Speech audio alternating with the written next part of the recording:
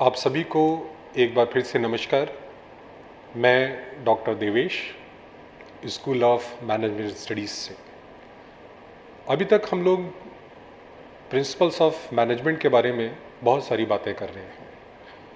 हमने block one में, unit one, unit two, unit three और आज यूनिट फोर पे बातें करने के लिए मैं आपके सामने हूँ। और अभी तक बहुत अच्छे ढंग से आपने कॉन्सेप्ट ऑफ़ मैनेजमेंट को पिछली यूनिट्स में समझा हुआ जैसा कि मैं हमेशा से आपको बताता आया हूँ कि मैं दोनों ही भाषा में आपसे बात करूँगा, जिससे कि आप सभी को ये कॉन्सेप्ट बहुत अच्छी तरीके से समझ में आ जाए। यूनिट नंबर तीन इसी ब्लॉक की, जिसमें हमने विभिन्न विद्वानों के विचारों को या यूँ कहें कि contribution of various experts on management उन्होंने क्या कहा, उन्होंने क्या थ्योरी दी, इसके बारे में हमने जानकारी प्राप्त की। इनमें से प्रमुख थे टेलर, फ्योल, मैक्स वेबर और Gilbreth Elton Mayo, Chester Barnard Herzberg Likert और मैग्रेगर। इन थ्यूरीज को समझने के बाद, पढ़ने के बाद, आपको निश्चित तौर पे समझ में आया होगा कि मैनेजमेंट किस प्रकार से अपनी विकास यात्रा को पूरा करता है। और इनके द्वारा दिए गए सिद्धांत थ्योरी आज भी कितने प्रासंगिक हैं, कितने यूज़फुल हैं। अगर हम थोड़ा सा और बढ़ें आगे और मॉडर्न मैनेजमेंट की बात करें तो मॉडर्न मैनेजमेंट में भी कुछ अप्रोचेस बहुत इंपॉर्टेंट हैं, जिनके आधार पर हमारे प्रबंधक, हमारे इंडस्ट्रीज़ आगे काम करते हैं।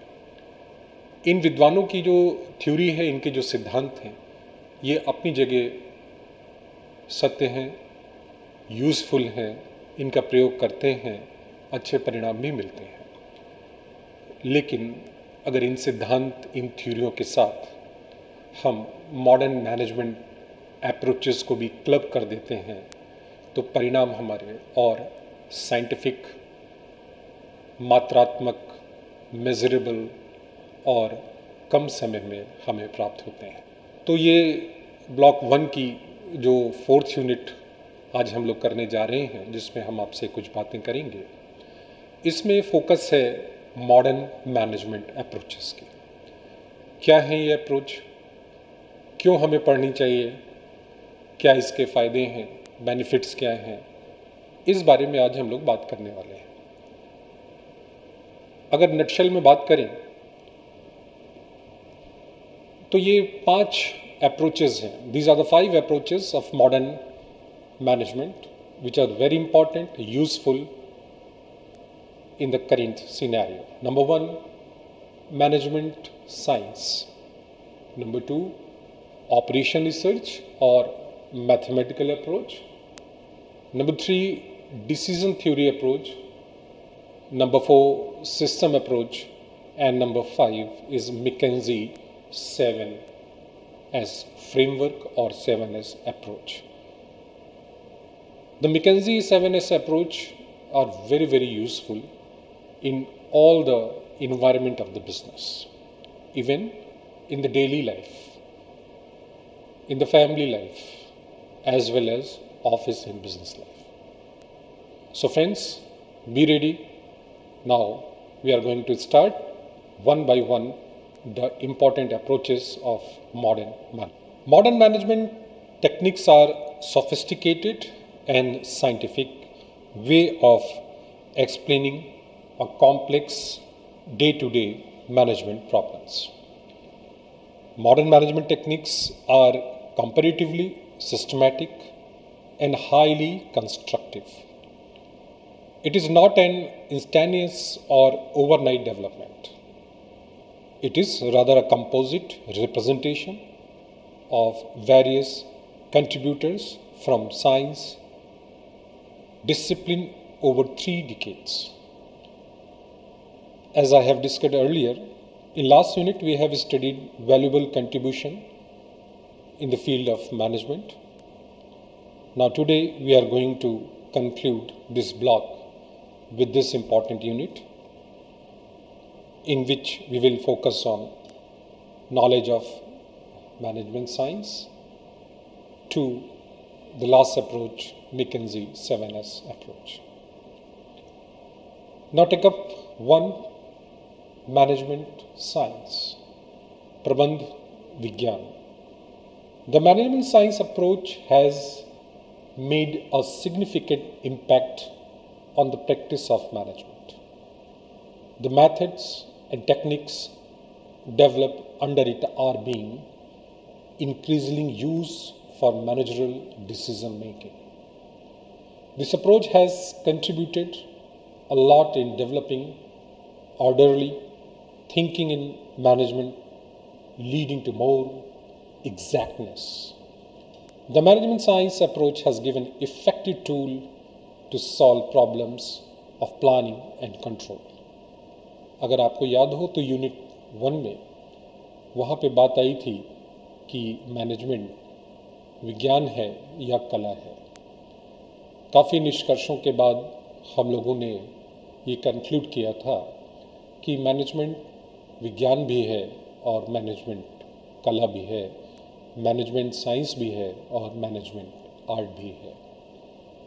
आर्ट कितने कलात्मक तरीकों से, जब हम प्रबंध को उपयोग में लाते हैं और साइंस इसलिए कि इन, जब हम उद्देश्यों को मात्रात्मक क्वांटिटेटिव ढंग से मेज़र करना चाहते हैं, या परिणामों को प्रदर्शित करना होता है क्वांटिटिव टर्म्स में।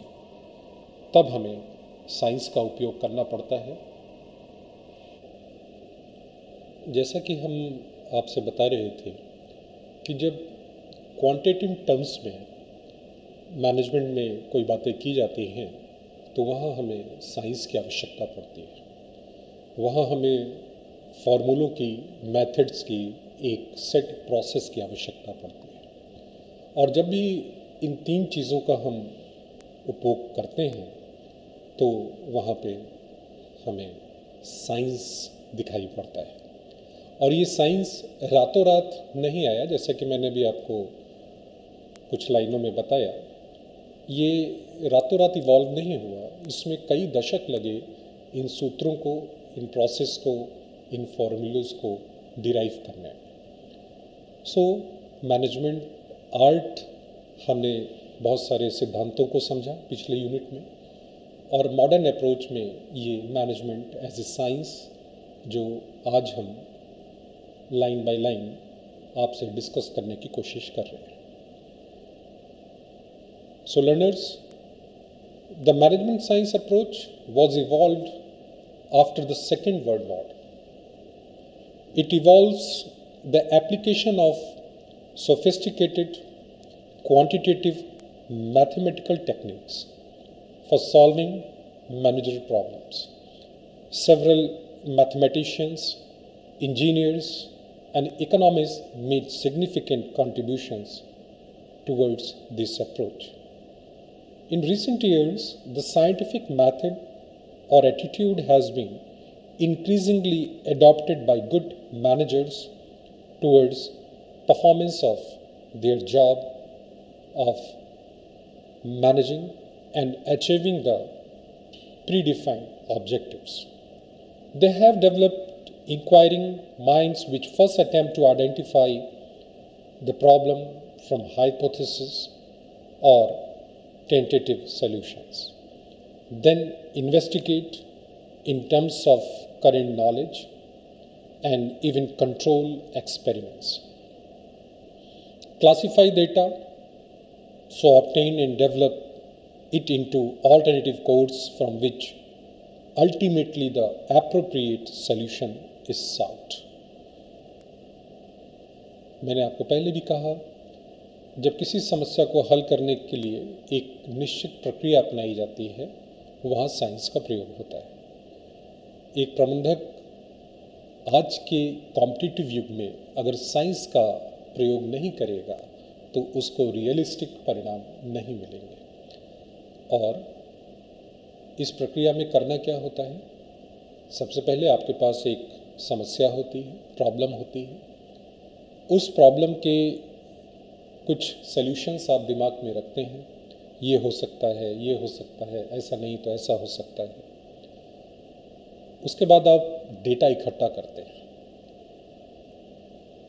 जहाँ पे या तो वो प्रॉब्लम आ रही है, या जहाँ आपको जिस क्षेत्र में जाके काम करना है, जिन लोगों के ऊपर काम करना है।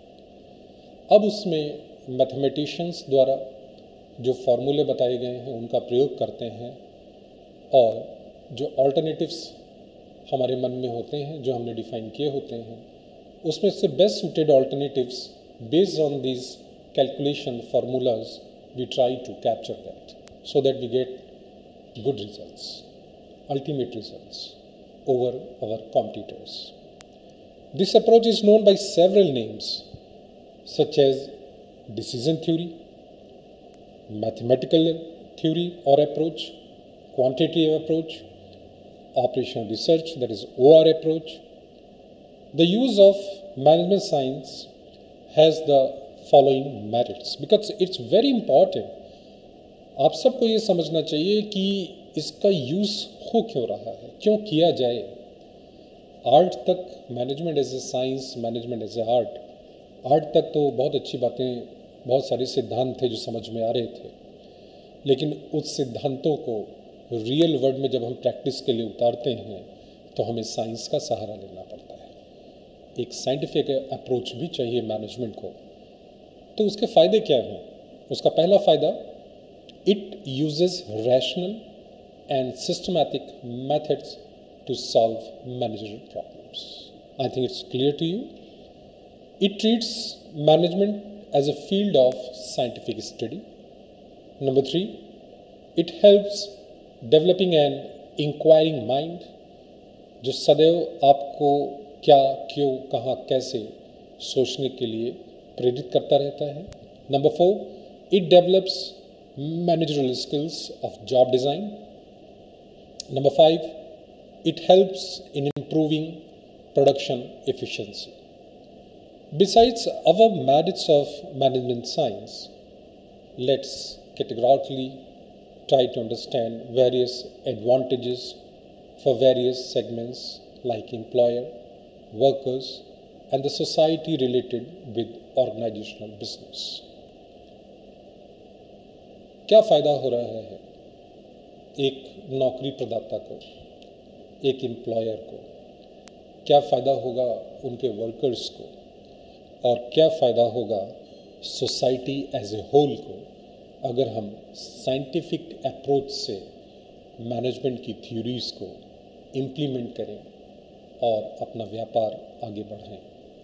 तो सबसे पहले हम लोग बात करते हैं बेनिफिट्स टूवर्ड्स द एम्प्लॉयर और एडवांटेज टूवर्ड्स द एम्प्लॉयर आपको यहाँ मैं ये भी बताना चाहूँगा कि हम लोगों ने आपको जो सेल्फ लर्निंग मटेरियल भेजा है that is S L M या आप अपने शब्दों में उसको बुक्स कहते हैं। जो भी बातें मैं आपको कर रहा हूँ, ये सारी की सारी थ्योरीज अप्रोचेस ये सब आपकी उन पुस्तकों में है। आपको पढ़ना चाहिए। ये जो एस एल एम है, ये गागर में सागर की तरह है। आपको केवल इन पुस्तकों को, इन एस एल एम को पढ़ते जाना है और निश्चित तौर पे आपकी नॉलेज बढ़ती जाएगी। जब हम बात करते हैं साइंटिफिक अप्रोच के एडवांटेजेस टुवर्ड्स एम्प्लॉयर तो डेली लाइफ में हम कुछ महत्वपूर्ण बेनिफिट्स को एडवांटेजेस को लिस्ट कर सकते हैं। मैंने आपके लिए कुल पाँच बेनिफिट्स यहाँ निकाले हैं। Number one Scientific management is the effective combination of the most suitable factors of production. It makes possible for the management to ensure greater efficiency through standardization, simplification, and scientific task planning. Ultimately, this results in the reduction of cost because the reduction of cost to maintain the quality these two factors are most important factor to sustain your business, sustain your organization in this competitive world. Number two, under it there is effective planning and control of work as regards how, where, and when it is to be done. This helps in setting of the production targets with utmost confidence. Number three, scientific and factual study and investigation of different methods and techniques offer the most appropriate and simplified process. Number four, scientific management makes it possible for the business to reach out of areas far and wide due to better quality and lower price of the goods produced. It leads to increased profits and growth. Whenever you want to increase your profits, your growth, your market share, you have heavily deployed the scientific approach. And the last one is it becomes possible under scientific management to have complete mental revolution. Once again, I am repeating the word mental revolution on the part of both management and workers. This leads to greater harmony in the enterprise and thus conflict free atmosphere prevails within the organization and outer the organization both so that the hassle free environment established within the organization. So these are the five very important advantages towards the employer. Now comes on advantages towards the workers. Workers are taking following advantages from their employers by implement management science in their day-to-day working in the organization. Uh, I have listed once again five advantages towards the workers. Let's try one by one. Number one, under scientific management, there is a great emphasis on improving the actual working conditions, such as proper ventilation, lighting, space, etc. This enables workers to more hours of work smoothly, peacefully in a conducive environment. Number two, as productivity is increased under scientific management, the workers get more wages, which increase their standard of living and mental satisfaction. Workers are provided free training to make them more efficient in the real situations of the job and business. Number four, everyone is offered the job for which he is most suitable. सही स्थान पर सही व्यक्ति और सबसे बड़ी समस्या आज जो प्रोडक्टिविटी नहीं प्राप्त होने की है, उसका कारण ही यही है कि सही व्यक्ति सही जॉब पे नहीं है। लेकिन जब हम प्राइवेट एंटरप्रेन्योर्स की बात करते हैं, वहाँ पे वो इसका पूरा ध्यान रखते हैं साइंटिफिक मैनेजमेंट के थ्रू काम करते हैं, जहाँ पे सही व्यक्ति को सही काम के लिए लगाया जाता है, जिससे कि ज़्यादा से ज़्यादा प्रोडक्टिविटी को प्राप्त किया जा सके। So every one is offered the job for which he is most suited the psychological testing about the interest and aptitude of the employees result in an interest in the job ये बहुत important चीज़ है। जिसको जहाँ आया, वहाँ लगा दिया, ऐसा नहीं होता। प्रॉपर एक साइंटिफिक टेस्टिंग होती है। साइकोलॉजिकल टेस्टिंग होती है। एटीट्यूड मेज़रमेंट होता है।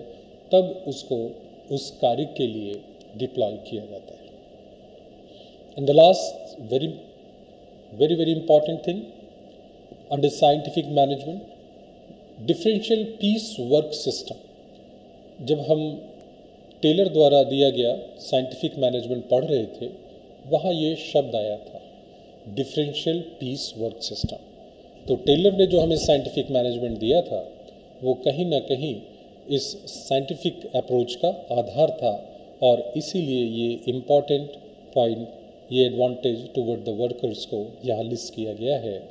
Under scientific management differential piece work system of wage payment is adopted according to this system the wage is determined by the individual performance and on the position which a worker occupies उतना ही पैसा मिलेगा जितनी आपकी performance होगी।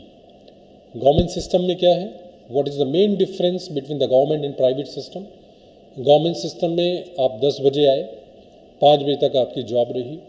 जो आपका salary तय हुई है, वो आपको मिलेगी ही मिलेगी। आप काम करें, अन्यथा ना करें। लेकिन प्राइवेट सिस्टम में क्या है? प्राइवेट सिस्टम में आपको कोटा दिया जाता है, आपको ऑब्जेक्टिव्स दिए जाते हैं टारगेट्स दिए जाते हैं। अगर उतना हिस्सा काम का पूरा नहीं हुआ तो आपको निर्धारित सैलरी नहीं मिलती है। सो दस wages under the system are positively correlated with the efficiency. ये पॉइंट हमें बताता है, ये साइंटिफिक अप्रोच हमें बताती है कि अगर हम differential piece work system wage payment में अडॉप्ट करते हैं तो उससे जो सबसे बड़ा फ़ायदा होता है, वो ये होता है कि वेजेस कोरिलेटेड होती है वर्कर्स की एफिशिएंसी से। जिनकी एफिशिएंसी अच्छी होती है, उनकी वेजेस अच्छे होते हैं मेज़रमेंट अच्छा होता है। जिनकी एफिशिएंसी ख़राब होती है, उनकी वेजेस घटती जाती है और उनको ऑर्गेनाइजेशन एक समय आने पर उनसे हाथ जोड़ लेता है, नमस्कार कर लेता है कि अब आपकी एफिशिएंसी अब आपकी एफिशिएंसी हमारी ऑर्गेनाइजेशन लाइक नहीं है। आप जा सकते हैं so these are the five very important points towards the workers. Now, the last advantages or essentials or importance towards the society management में साइंस अप्रोच की society as a whole benefits by the use of management science in the business organization in various way now let's try to understand on four points so that you can get the clear idea how the society is benefited by the scientific approach in management. Number one, scientific management leads to economic prosperity. Production is done at minimum cost. The Standard of living is raised on account of higher wages and economically and efficient use of social resources etc. Make the society prosperous इस पहले point में आपने देखा कि एक, अगर हम scientific approach करते हैं तो उससे सोसाइटी को सबसे बड़ा फ़ायदा होता है इकोनॉमिक प्रॉस्पैरिटी आती है। कैसे आती है? प्रोडक्शन की कॉस्ट कम होती है क्वालिटी के स्टैंडर्ड बढ़ जाते हैं। वेजेस डायरेक्टली रिलेटेड हो जाते हैं इफ़िशेंसी से। सोसाइटी के जो ग्रुप जो सदस्य अच्छी इफ़िशेंसी से काम करेंगे, उनको ज़्यादा वेजेस मिलेंगे। उनका लिविंग स्टैंडर्ड बढ़ेगा so society as a whole living standard improve होगा। जो काम नहीं करेंगे, उनका लिविंग स्टैंडर्ड अच्छा नहीं होगा। So the scientific approach the advantage toward the society As a whole make the society prosperous Number two, it aims at providing maximum satisfaction to both industrialists as well as employees. This leads to a tension free relationship between the Malik and Mazdoor, पैसा लगाने वाला और काम करने वाला and this cause as industrial harmony सबसे बड़ी बात यह है साइंटिफिक अप्रोच। इसका एक छोटा छोटा सा उदाहरण आपको मैं देना चाहूँगा। आजकल आपने चारों तरफ़ सुना होगा कि जो अटेंडेंस है, वो मशीन से होती है। पहले जो अटेंडेंस होती थी, वो रजिस्टर में होती थी। दस बजे का समय है, ग्यारह बजे आए तो भी लगा दिया। मालिक कह रहा है कि तुम लेट आए। मजदूर कह रहा है, नहीं, हम तो सही समय पे आए। दोनों में विवाद की स्थिति हो सकती थी। या कर्मयोगी जो है चुपचाप लगा के चले गए, मालिक का नुकसान हुआ। तो अल्टीमेटली इससे हुआ क्या? अल्टीमेटली प्रोडक्टिविटी इससे घटती है।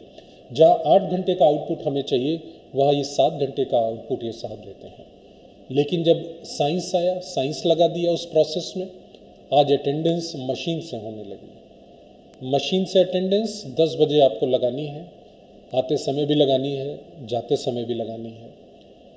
आपको खुद आपका रिकॉर्ड पता है। आपके मोबाइल पे भेज दिया जा रहा है, आपकी मेल पे भेज दिया जा रहा है। अब आप इस साइंस से, इस मशीन से, इस मेथड से झूठ नहीं बोल सकते। क्यों? क्योंकि वो रियल टाइम रिकॉर्डिंग है आपकी। आप स्वयं जानते हैं कि आपने क्या किया है। तो इससे क्या है? इससे मालिक मजदूर में जिसने बिज़नेस लगाया है, या जो नियोक्ता है और जो कर्मचारी है, उसके बीच में कोई कहा सुनी की बात नहीं है। जो चीज़ है वो सामने है। जो आप लेट आए हैं तो आपका पैसा कटेगा, आप सही समय पे आए तो बड़ी अच्छी बात है। इससे अल्टीमेटली क्या होता है? इससे काम करवाने वाले में और काम करने वाले में कभी कोई स्ट्रेस जैसे संबंध नहीं पनपने पाते हैं। सदैव एक हारमोनी बनी रहती है। ये सबसे बड़ा एक उदाहरण है इस साइंटिफिक अप्रोच का towards the society number three under scientific management different measures are adopted that ultimately increase product and product quality and production both. It becomes a boon to the society. And the last point which I want to list here that is because of increased production goods are easily available at fair price to the people because the competitors are also producing the same product on same cost in the society. So the because competition are increasing this, we have to we have to stick, we have to careful about the uh, cost and the quality and availability of the product in that particular markets. Thus, management science is being increasingly used in arriving at management decisions. Besides the modern development towards the use of quantitative techniques and mathematics is an aid to managerial decision making. The advent of the computer as a management tool has given great imputes to the use of such quantitative management methods. अगर आप इसको sum up करना चाहें तो आप ये कह सकते हैं कि कंप्यूटर के आने के बाद से मैनेजमेंट को साइंस के रास्ते पे चलाने पे बहुत सुविधा हुई है। और संभवतः इसीलिए कंप्यूटर्स का एप्लीकेशन का विरोध होता आया था कि कंप्यूटर्स जो कमाल कर सकते हैं, वो मानव नहीं कर सकते हैं।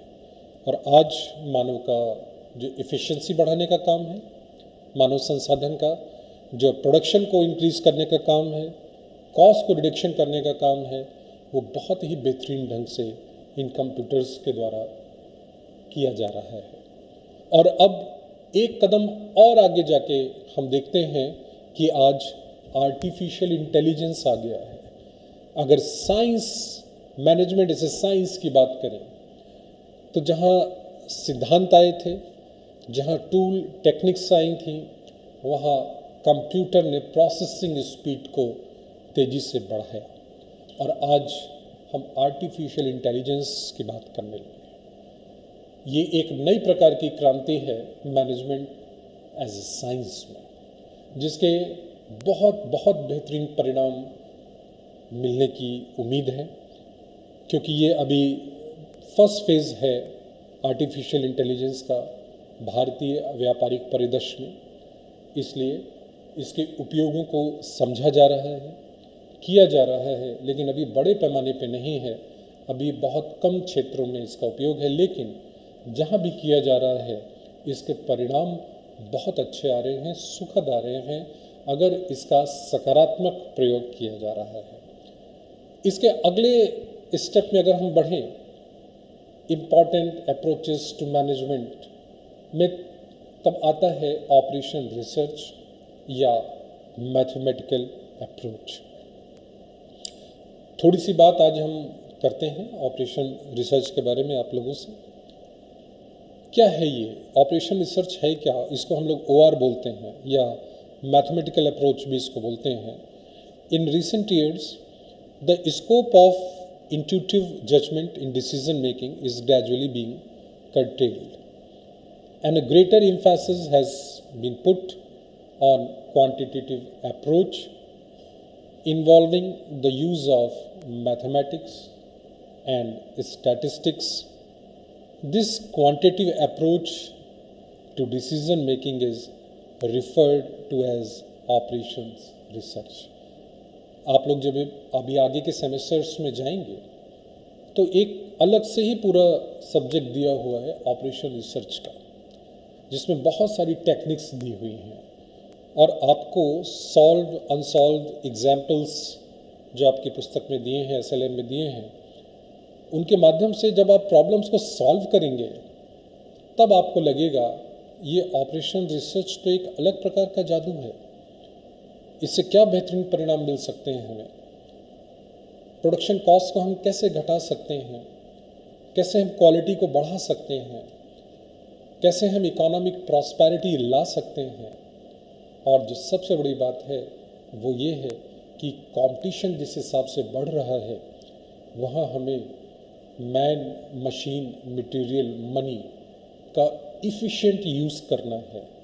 इफ़िशेंट यूज़ इसलिए करना है कि हमारी कॉस्ट कम रहे, हमारी क्वालिटी सर्वोत्तम रहे अवेलेबिलिटी ऑफ़ प्रोडक्ट हमारी सबसे पहले हो डाइवर्सिटी इन प्रोडक्ट हमारी सबसे बेहतरीन हो, और मानव संसाधन का हम सबसे बेहतरीन इस्तेमाल करें, जिससे कि हमारा जो वर्किंग इन्वायरमेंट है, वो स्ट्रेस फ्री रहे, हमारा वर्कर सेटिस्फाइड रहे फेथफुल रहे और बार बार हमारा वर्कर्स हमें छोड़ के ना जाए। एक ये सबसे बड़ी प्रॉब्लम ये है कि हम वर्कर्स को एक साल, दो साल, तीन साल अपने ऑर्गेनाइजेशन में रखते हैं और वो काम सीख के आगे चला जाता है।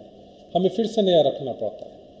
तो हमें ये भी ध्यान रखना है आज के दिन में कि हम कैसे ओवरऑल कॉस्ट को कम कर सकें वर्कर्स इफ़िशेंसी को बढ़ा सकें और क्वालिटी को सर्वोत्तम बना सकें।